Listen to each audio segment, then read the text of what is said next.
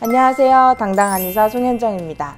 당뇨 발저림 있는 분들, 시도 때도 없이 찾아오는 발저림 때문에 고생이 많으시죠? 발저림은 당뇨병성 신경병증의 초기 증상으로 향후 발의 통증이나 궤양으로 발전할 수 있어서 적절하게 치료해야 합니다.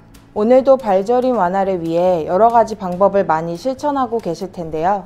오늘 영상에서는 발저림에 좋은 혈자리에 대해서 알아볼게요.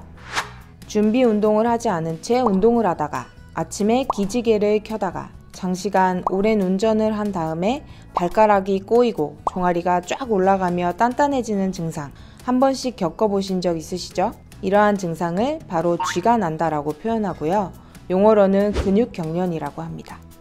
근육 경련은 근육이 아직 준비가 덜 된 상태에서 움직이거나 피로가 많이 쌓인 상태에서 부하가 넘쳐버렸을 때 잘 발생합니다. 쉽게 말해서 근육이 이미 수축된 상태에서 더 강하게 수축을 해야 하는 상황일 때 쥐가 더 잘 난다는 뜻이죠. 그리고 또 한 가지 종아리는 산소와 영양분을 실은 혈액을 말초에서 위로 짜주는 펌프 역할을 하기 때문에 말초 혈액순환과 밀접한 연관이 있습니다. 당뇨인들이 호소하는 손과 발저림 증상은 물론 신경 문제도 있지만 혈액순환과도 관련이 있는데요.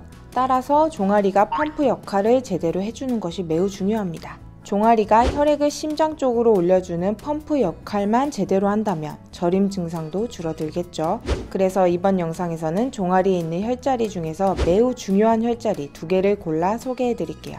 먼저 승근이라는 혈자리입니다.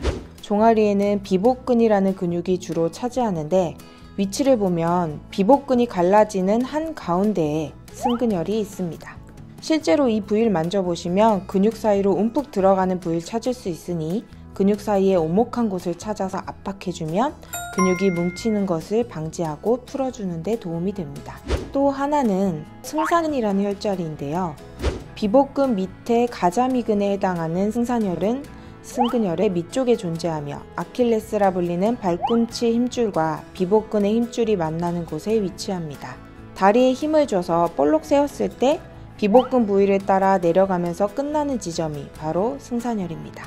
지압을 할 때에는 엄지손가락을 이용하여 천천히 꾹 10초 정도 눌렀다가 떼주시면 되고 너무 세게 누르지 마시고 적당한 압력을 주시는 게 좋습니다. 승근승산혈은 근육을 풀어주고 경락을 소통시키면서 허리와 무릎 쪽의 근육을 강화해주고요.